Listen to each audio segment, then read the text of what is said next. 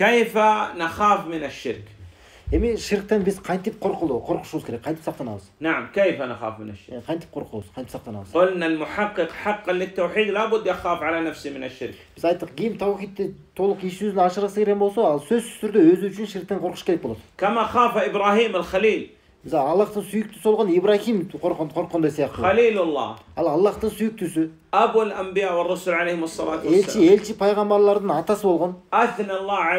аллах тағаланы мақтаған өзі ал өз қолыменен бұтпарастарды идалдарды талқалаған ошоның барысына қарабай ал өзіне өзі үшін ширктен қорқып тұрады демек сен андан беш бетер қорқышың керек болады эми биз ширктен кантип қорқа алабыз кантип сактана алабыз نعم birinchi ilm ب-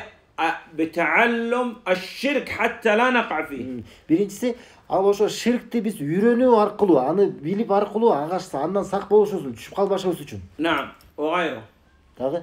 mына ибрахим алейхисалам дуа кылганда бизде بالدعاء كما دعا ابراهيم عليه الصلاه والسلام экинчи дуба аркылуу мына ибрахим алейхисалам дуба кылгандай эле биз дагы аллах таалага дуба менен жалбарып кайрылуу аркылуу بالبعد عن المشركين жана ошондой эле мушриктерден капырлардан алыс болуу аркылуу لان ال- ال- مخالطه الكفار والذهاب الى بلاد الكفر يؤدي الى الاغترار بهم والاعجاب بهم М, анткени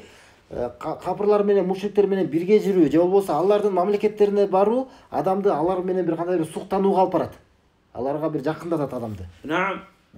وكذلك بدراسه التوحيد وحتى يعني نحقق التوحيد жана ошондой эле дагы себептеринен ширктен коркпой эмне тавхидти үйрөнүү аркылуу тавхидти толук иш жүзүнө ашырыш үчүн بعض الناس يعني من المسلمين